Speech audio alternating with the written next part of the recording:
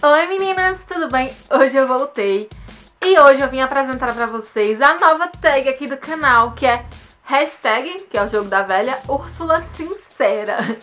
E eu resolvi criar essa tag pra mostrar algumas situações do nosso dia a dia que são engraçadas ou cômicas. Enfim, espero que vocês se divirtam. Se tiver gostado, ao final do vídeo, clique em gostei pra mim. Se inscreve no meu canal pra ficar ligadinha nos próximos vídeos. E não esquece de comentar aqui embaixo o que você achou. E me dá sugestões pra eu fazer próximos vídeos. Então, se você quiser ver o de hoje, é só continuar assistindo o vídeo. Então vem comigo.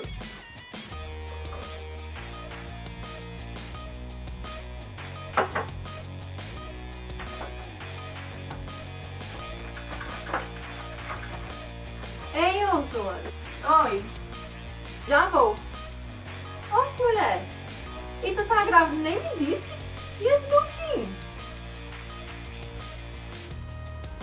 Não, mulher. É gordura mesmo. Ah. Desculpa. Tchau.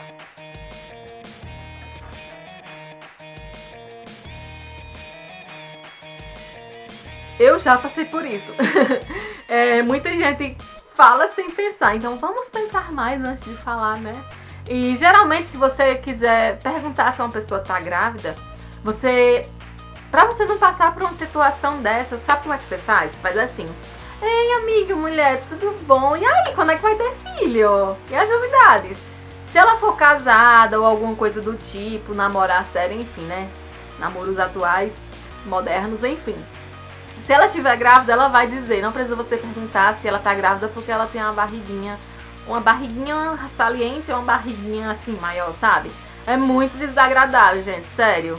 É, fica feio pra você e pra quem tá passando por essa situação. É muito chato mesmo. Então, vamos maneirar na hora de tentar perguntar alguma coisa, de. Enfim, né? Nossa curiosidade às vezes acaba sendo in... é...